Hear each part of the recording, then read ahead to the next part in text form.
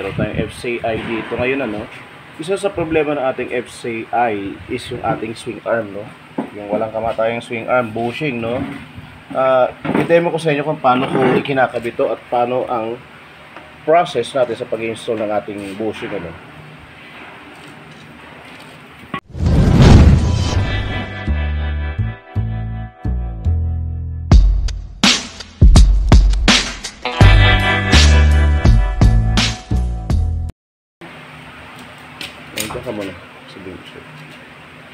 So yung FCI natin is meron tayong mahabang uh, yung bushing, yung metal bushing no, which is ito yun.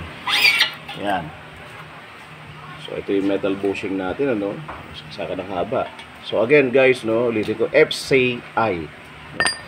So ang bushing natin uh, both side nandito yan no, nakalagay dito. End to end no. Tapos yung ating spacer na to ano, ikakat natin, no? Para maging stopper, magsilbing stopper dito sa ating bushing. Kasi if ever na wala tong bush, uh, wala tong stopper na to, may possibility na ang ating bushing ay pumasok doon hanggang doon sa loob na 'yon, no? So kailangan natin ito, no? Huwag niyo pong hindi ilalagay ito na ikakat, no? I-cut ninyo para maging magsilbing spacer, no? Para yung bushing natin hindi papasok doon. So, clear po yun, ano? No? Kaya sa pagkakabit po nito, ay lagyan nyo grasa. May kasama naman grasa pag kayo ay nag-order sa Mojo Shop. No? May grasang kasama yan. So, lagyan nyo yung bushing at yung ating axle. No? Tapos, pupukpuk ninyo ng uh, kailangan sumagat ire. No? isagad yung hanggang dito. Yan. Huwag kayong matakot na baka masira, no? Ay hindi ho nasisira yan sa simpleng pokpok lang. So ipapasok nyo siya hanggang yan, hanggang dito. Huwag nyo puputulin kasi meron yung tinatawag na parang uh, stopper daw. Pero hindi. Huwag nyo pansinin yun. Pukpukin nyo lang po, no? O, kung gusto nyo naman hindi kayo mahirapan, pero kaya-kaya pukpukin yan eh. Gusto nyo press ninyo, pero kaya pukpukin yan. Pakikita ko sa inyo.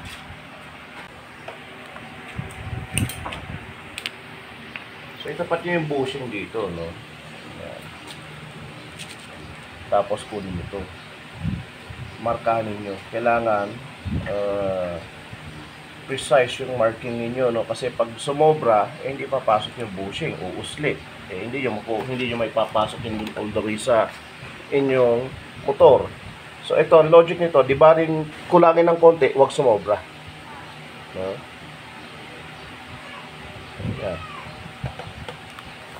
markingan ninyo no ayan marking ayan marking. So again ha ulitin ko ha. Di baling kulangin wag sumobra. Pag sumobra hindi yan papasok dito. Ayan dito. Dito. So hindi yan papasok dyan. No? kaya siguraduhin nyo yung sukat. So i-grind para maputol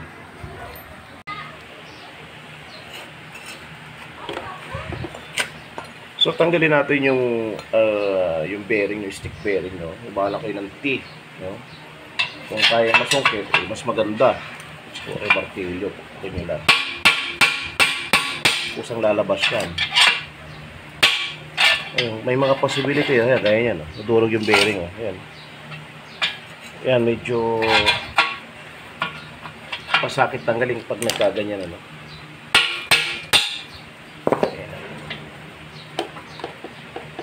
Merong housing yung ating stick bearing na yan, no? So, kailangan all the way yun lumabas. Mamaya pakikita ko sa inyo kung ano yung itsura nun. Ayun, pag napulbos yung bearing natin, ayun ang medyo sa, sa ulo.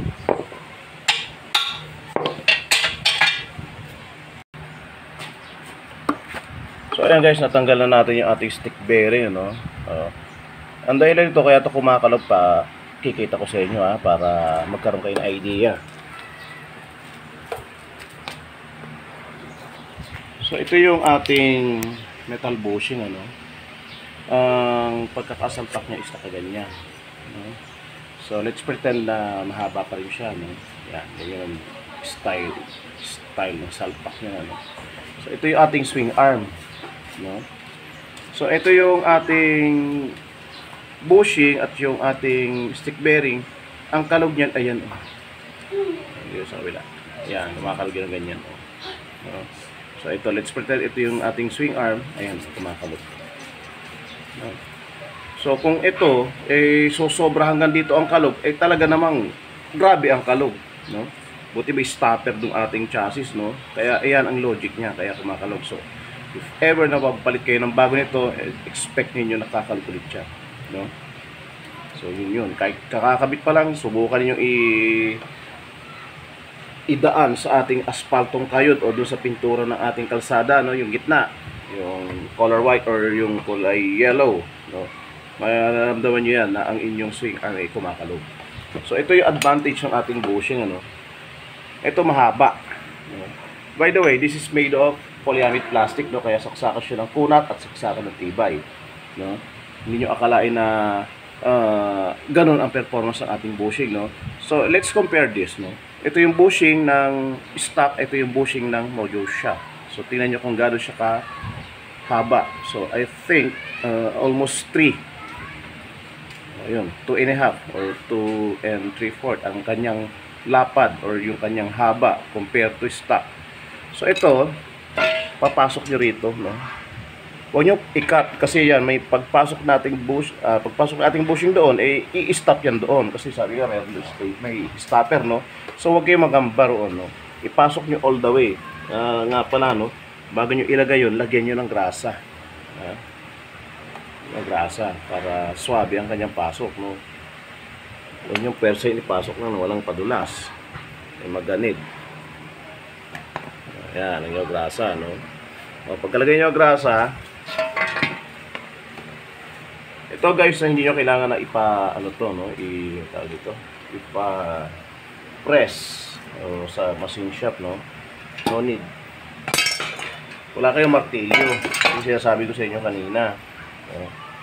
Pasok nyo ere, pukpukin nyo. Okay, mga ba masisira yung busi, eh. napakakulat po niya. So, yung, yung simento nasira. So, pukpukin nyo.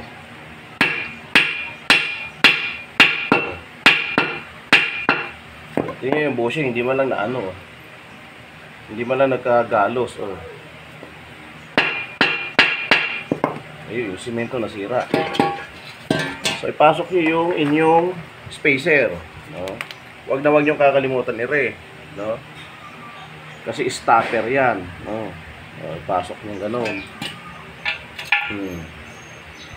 Salin yung bushing. Ah, ulitin ko guys, huwag kayo matakot na ito ay mababasag.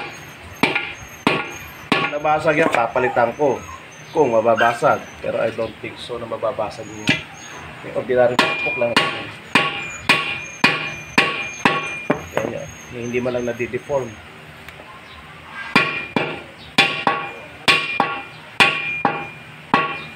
So, ganyan kakulat yung ating bushing. So, ito pa ito, ito eh, durog na yung swing arm, eh, bushing eh, pwede pang gamitin ulit. Na hindi po kinakalaban yan kasi nga uh, made of polyamide plastic no? So ito eh, pag ito bininas-binas eh baka huling palit na ng bushing to.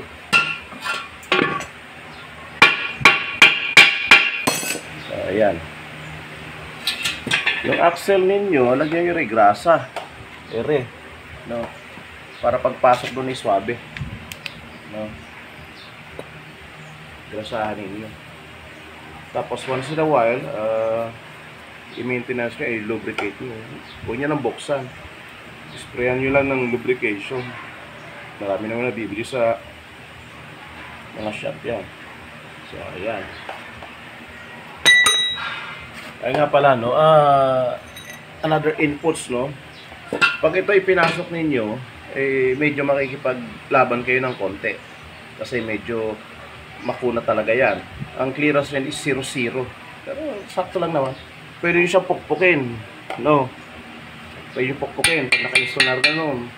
O pwede nyo naman tirahin ng inyong impact drive. Basta tiyagain ninyo.